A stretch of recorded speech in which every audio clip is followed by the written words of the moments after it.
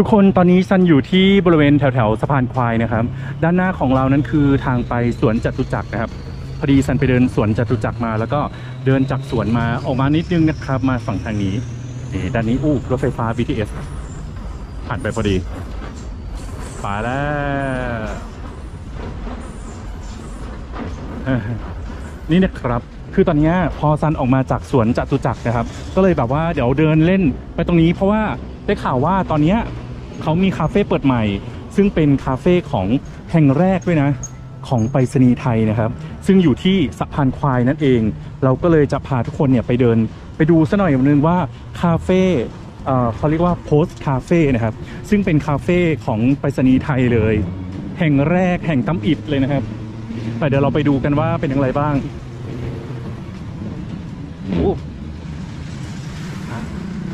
จริงๆอะถ้าใครจะมานะ ให้นั่งรถไฟฟ้า BTS มาลงที่สะพานควายนะครับ เพราะว่าเอ่อไปรษณีย์ไทยสะพานควายก็คืออยู่ติด BTS เลย แต่พอดีว่าสันมาเดินที่สวนจตุจักรก่อนนะครับ ก็เลยแบบเดินลัดมาทางนี้นี่บรรยากาศโอ้ยเมื่อก่อนฮะปี 54 น้ำท่วมทุกคน รู้ไหมว่าน้ำท่วมถึงไหน น้ำท่วมถึงนี้อืมน้ำท่วมถึงข้างหลัง แล้วสันอะต้องนั่งรถไฟฟ้ามาลงตรงจตุจักร แล้วก็ต้องนั่งมาใต้ดินไงมาลงจตุจักรตรงนี้ แล้วก็ต้องขึ้น BTS อะไปทำงาน เพราะว่าน้ำมันถึงแค่ตรงนี้ มันเลยมันขึ้นเนินตรงนี้ไม่ได้ ตอนนั้นนะนะที่แบบว่าน้ำท่วมอะโอ้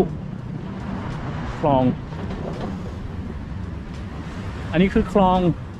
คลองบางซื่อนะครับ โอ้ตอนนี้เข้าเขตพญาไทแล้วนะฮะแต่ว่าไม่ได้มานานเนาะ อะไรอะไรเขาก็ปรับปรุงเปลี่ยนแปลงแบบสวยงาม แล้วสะพานควายจะบอกว่ามีคอนโดเยอะมาก คอนโดเยอะเกิน คอนโดผุดขึ้นแบบเป็นดอกเห็ดเลยทีเดียว ถ้าใครบอกว่า อยากอยู่ในโซนที่มีตลาดมีห้างมีอะไรนะเขามีบิ๊กซีนะ มีโรงพยาบาลนะครับ เปาโลสะพานควาย มีโรงหนังด้วยนะ แล้วก็มีแบบตลาดครับอยู่ตรงถนนปฏิพัฒน์นะครับ โอ้อันนี้เขาเดินดีอยู่นะ บรรยากาศแบบชิลมาก ทางเดินกว้างขวางแล้วก็ตรงนี้เนี่ยที่สังเกตเห็นไหมทุกคนไม่มีสายไฟแล้วนะครับ ที่นี่คือถนนเส้นนี้เนี่ยเขาจะไม่มีสายไฟแล้วตั้งแต่ท่าแยกลาดพร้าวไปจนถึงอนุสาวรีย์ชัยนะครับถนนพลโยธินโอ้อันนี้สาย 28 นะครับ เป็นเกษมจตุจักรแต่ตอนนี้เราอยู่ที่ย่านสะพานควาย เดี๋ยวเดินไปเรื่อยๆ มีแบบว่าโอ้ร้านหนังสือให้หนังสือเก่า มีแบบกางเกงขายด้วย มีด้านในนี้ ด้านนี้นี้เป็นวัดไผ่ตันนะครับนู้นทางในสุดอะเราเคยมาอยู่แถวนี้อยู่ วัดไผ่ตันเฮ้ยมีร้านมีร้านซักผ้าแล้วเหรอเริ่มต้นสี่สิบ นี่ทางเขาดีนะ ฝั่งนู้นก็เป็นคอนโดนะครับ นี่ BTS สะพานควายนะครับ BTS สะพานควาย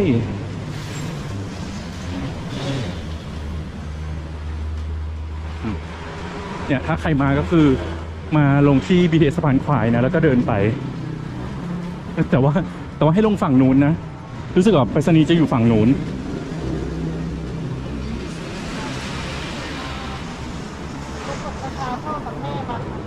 ร้านนวด โรงแรมแล้วก็พวกโฮสเทลอะเยอะมากเลยทุกคน คือเราดูใน Google Map อะนะโฮสเทลแบบที่เป็นนอนเตียง นอนเตียงแบบเป็นเป็นนอนเป็นเตียงเป็นเตียงอะนอนร่วมกันอะเยอะมากเลยเนี้ยในสะพานควายเนี่ยดูด้านนู้นเป็นฮอนด้าขายมอเตอร์ไซค์เราไปดูมอเตอร์ไซค์จะได้มอเตอร์ไซค์มากตอนเนี้ย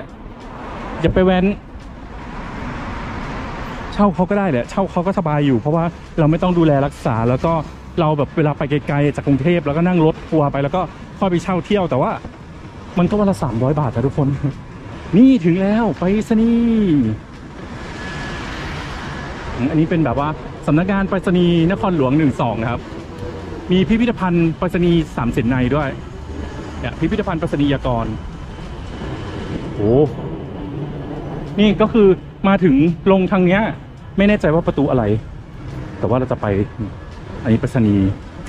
นี่ไงโพสคาเฟ่เขาอยู่ด้านข้าง เรารู้สึกว่าแบบดูในที่เขาเช็คอินเขาบอกว่า ให้สแกนจ่ายด้วยอุ๊ยเหมือนจะมีคนอ๋อมีคนแบบนี่มีคนใช้บริการอยู่ นี่เปิดบริการทุกวัน8โมงเช้า ถึง 6 โมงเย็นนะครับโพสคาเฟ่ว้าวนี่เลยนะครับ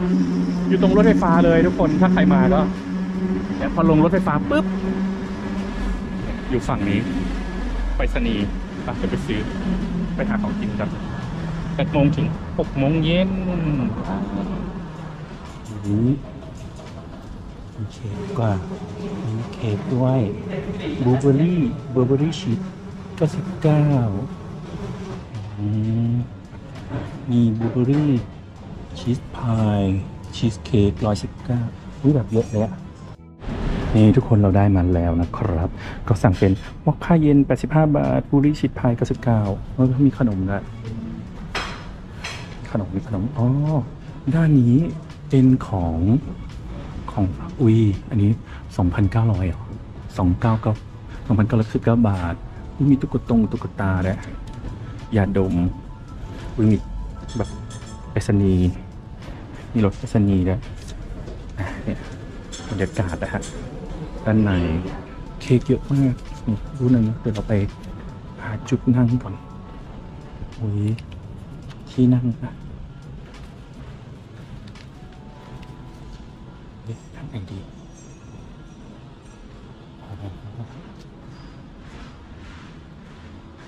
อ๋อนั่งตรงนี้ก็ได้นะเนี่ย ที่ชาร์จแบตอะว้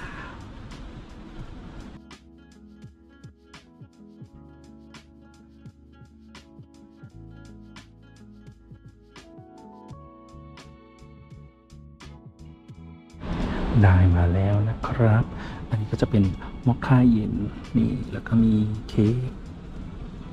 บรรยากาศโอ้ทุกคนเขามีอย่างนี้ด้วย นี่ ถ้าใครมาแบบหลาย ๆ คนเนาะก็มานั่งโต๊ะอย่างนี้ได้นี่เป็นโต๊ะแบบยาว แล้วก็มีที่ชาร์จแบตให้เป๊ะมากเลยอะเออมานั่งทำงานมานั่งแบบดื่มเครื่องดื่มเย็น ๆ เลยนะครับว้าว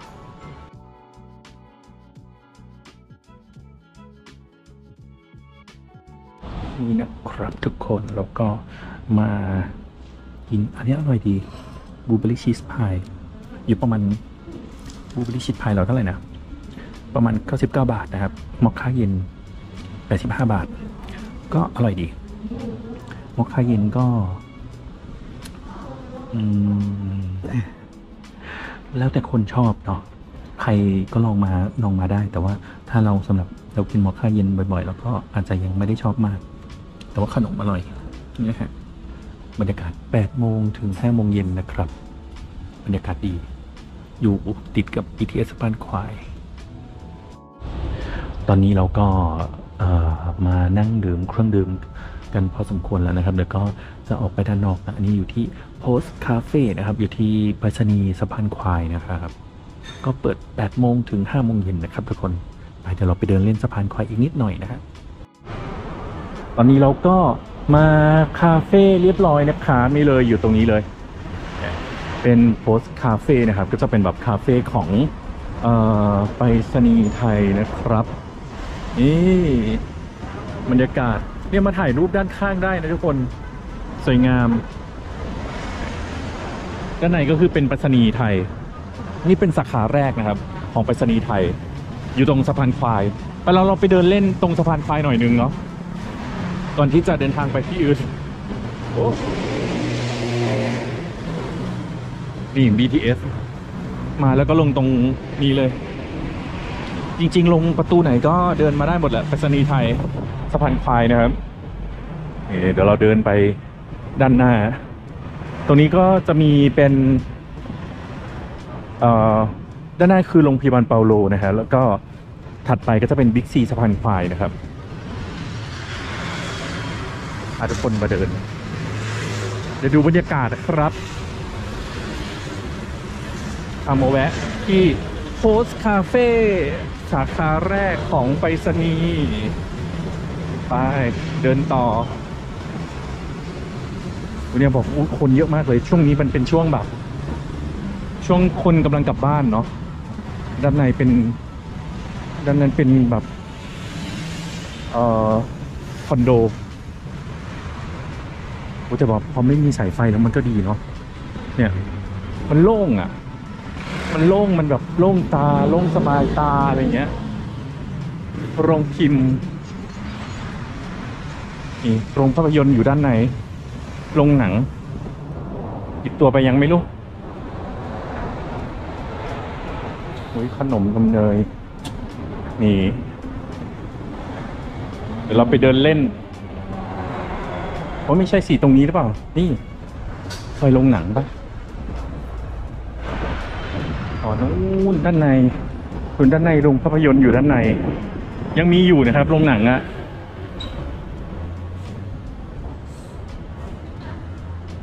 เพื่อเพื่อคนที่แบบว่าเคยมา เดี๋ยวคนถามนะว่าแบบโรงหนังยังอยู่ไหมยังอยู่เด้อว้าวของกิน ยังมีของกินขายไส้กรงไส้กรอกอะไรก็มีแบบเยอะแยะของกิน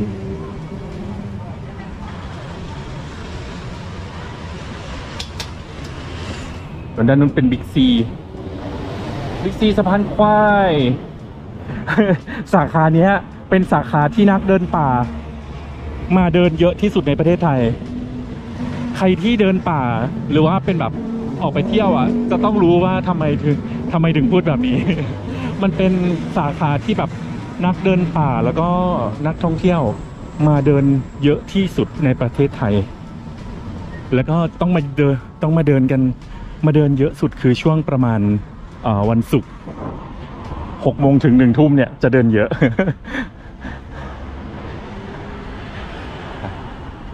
โอ้ นี่เลยบิ๊กบิ๊กซีนะครับเว้ยเหรอเราไปเดินเล่นบิ๊กซีตรงนู้นเนี่ยเดี๋ยวข้ามตรงนี้ได้เดี๋ยวเดี๋ยวเดินไปดูตรงนี้ก่อน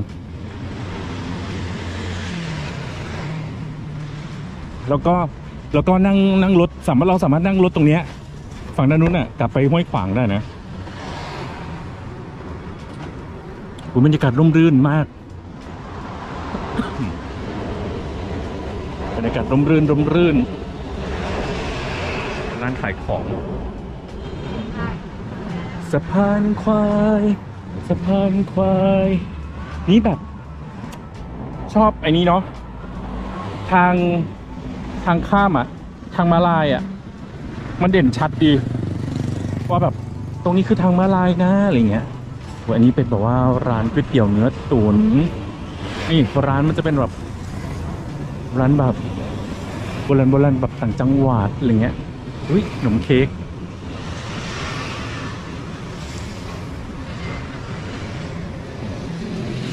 ด้านนู้นก็มี จะเป็นแบบร้านค้าตามริมถนนอะมันจะเป็นร้านแบบฟิลขายของชำอะไรเงี้ย ร้านขายของชำร้านขายทีวีร้านขายเสื้อผ้าเหมือนอยู่ตามตลาดอะเวลาเราไปตลาดที่ต่างจังหวัดเนี่ยมันจะมีโอ้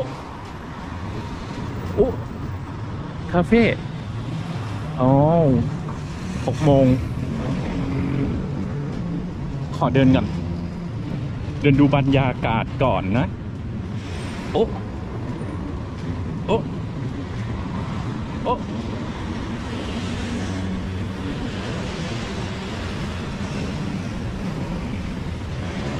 นี่เล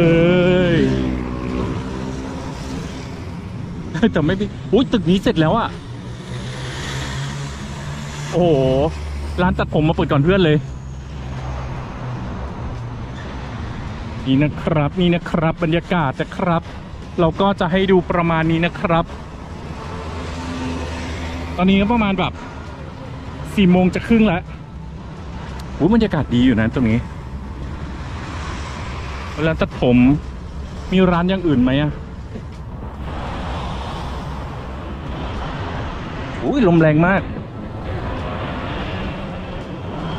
อืม โอ้โหอุ้ยลมแรงมาก นี่คือ แยกสะพานควายนะครับ ทุกคน ประมาณนี้นะครับ ไม่เห็นรถไฟ อะเดี๋ยววันหลังจะไปเดินเล่น พาเดินเล่นตามถนนพหลโยธินไปนู่นไปเรื่อยๆเนาะไปเจอกันบ๊ายบาย